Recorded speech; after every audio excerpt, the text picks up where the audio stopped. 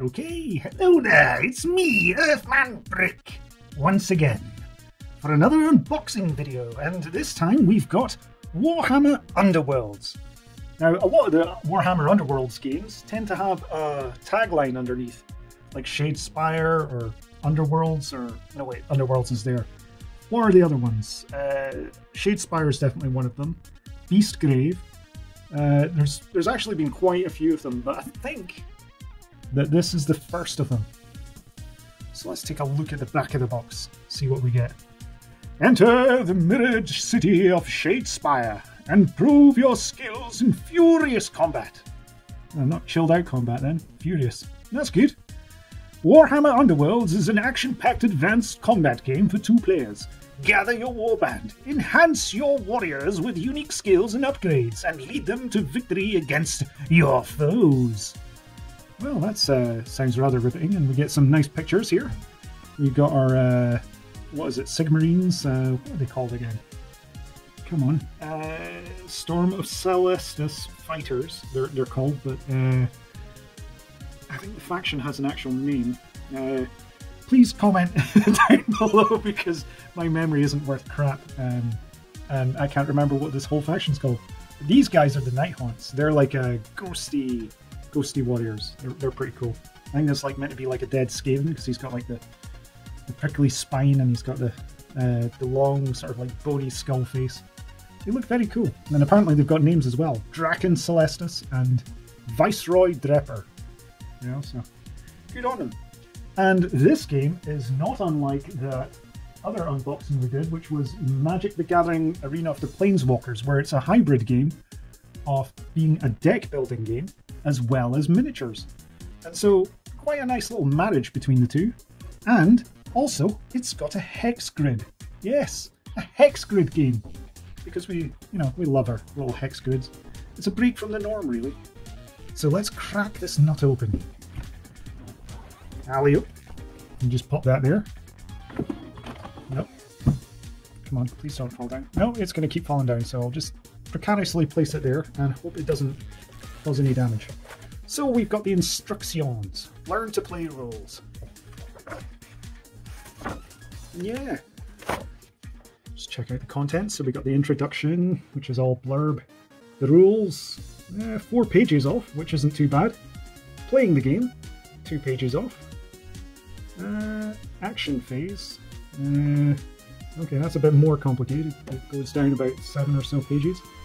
The end phase, play on rounds two and three, so it's more the same. And there's a glossary and references at the end. So let's just have a quick flick. See what we get. Whoa!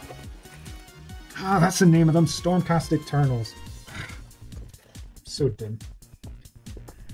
Yeah. Oh, nice looking cards anyway. And you get two double-sided game boards. So that's like four. See? I can do math.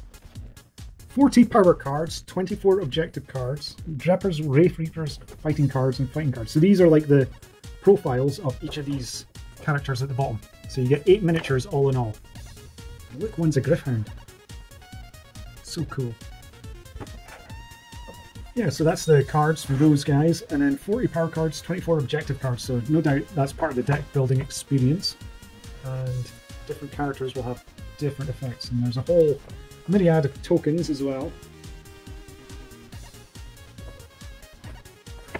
Okay, and objective tokens and such like as well. Oh, and you get special dice as well. Attack dice and defense dice. Interesting. So yeah, it's a full game in a box. That's the blurb. I'm not going to read all that. Jamesy, we'd be here all day! The rules are long and complex. So we'll leave that to one side. The decks. Oh. Yeah, and one of the cool things about this game is that you can get lots of uh, extra gangs and stuff which have their own decks as well. So you can buy extra miniatures and little box sets. That act as little expansions. Yeah, I'm just flicking through. Let's see. Oh yeah, assembly guide at the end. And one of the good things about this set is that it's all push fit, so you don't need any glue. See look, it says it there. No glue required.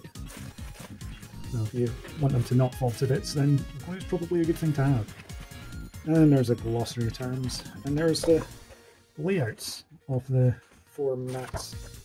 Well, two double-sided mats. And, oh my goodness. Full-blown flowchart at the end. so yeah, that looks pretty cool.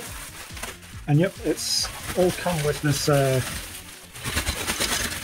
bubble wrap because I got this secondhand on eBay from a good seller. And ooh, these models look nice.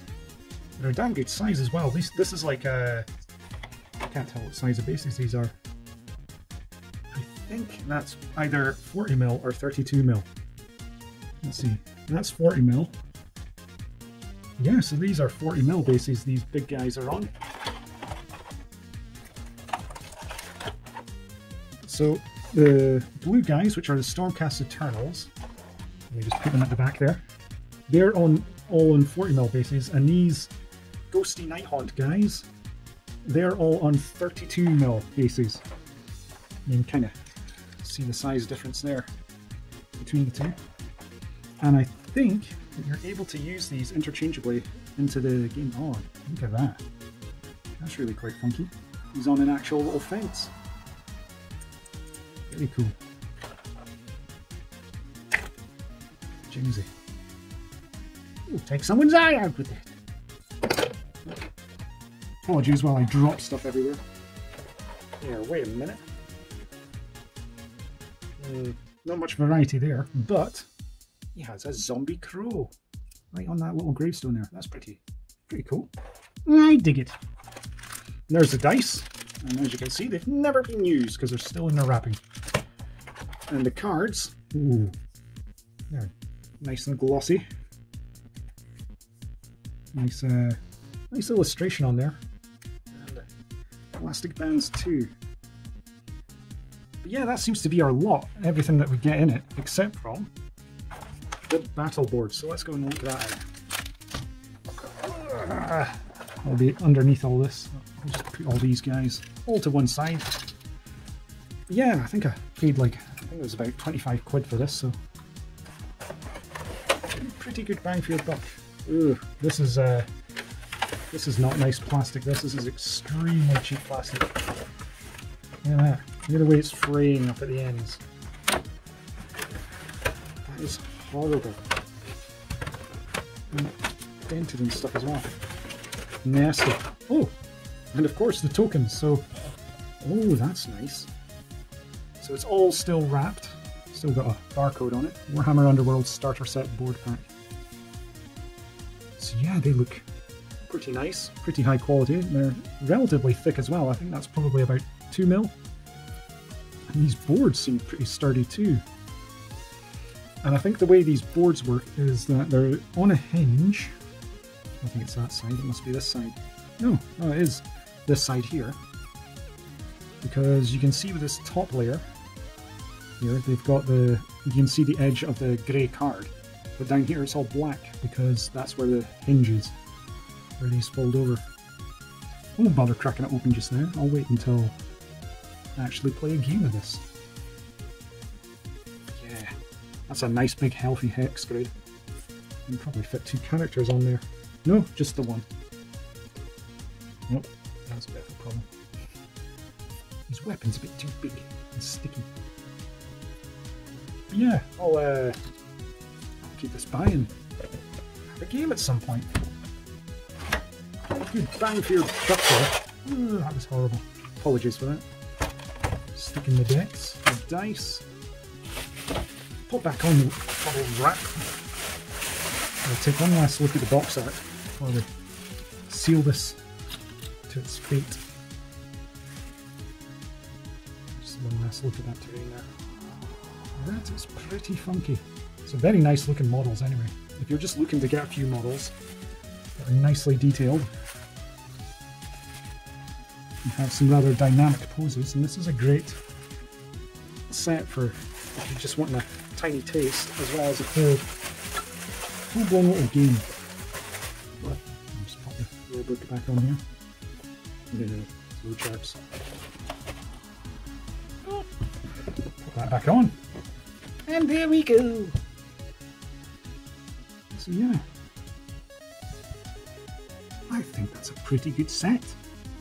Of course, this is uh, discontinued now, I believe. Uh, they're onto the. they're busy shelling out the new one. I can't remember what it's called. So if anyone knows, just post in the comments below. I hope you've enjoyed this video anyway. And I think it's a pretty good set, and oh, it feels so nice. It's such a nice glossy coated finish. Unlike, let me just get it, the recent Kill Team box set. This is it here, Pariah Nexus. Now, this isn't nice and glossy at all, it's just kind of cheapo card. It's really not very nice at all. I don't know what they were thinking, but this, look at that. You can actually see reflection in it. That's how nice and glossy and such a well-made one that is. Whereas this, yeah, it's just casting a shadow. Still, nice box art. This isn't the complete set, by the way. This is just an empty box, and I think all I had in it was the terrain. I don't think there's anything else in there. Yeah, because I just got. I think whoever had it first uh, sold off all the miniatures in here. Yeah, I'll be painting up some of that terrain at some point. Not that it's overly inspiring. I'm not really a fan of that. Anyway, enough about that. I'll give it a its own unboxing. I think I've got it a full box uh, coming up soon. Yeah,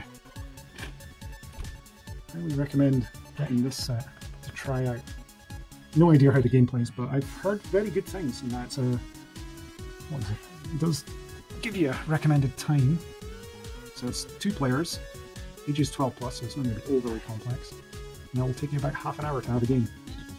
Because I think uh, realistically, with uh, what was it, Warhammer 40,000 and Warhammer Age of Sigmar, a game of those can take anywhere between an hour to two hours, maybe. Uh, I don't know how far they've streamlined it. But yeah, not the fastest or speediest of games. But this one hits that sweet spot, I think. Anyway, I'm going now. You guys have a nice time, and I'm going to work on my next video. So thanks again for watching. You guys take care. Bye-bye.